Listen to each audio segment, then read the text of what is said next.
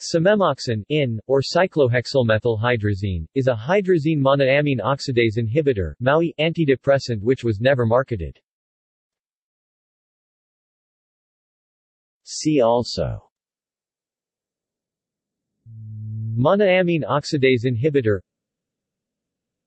Hydrazine antidepressant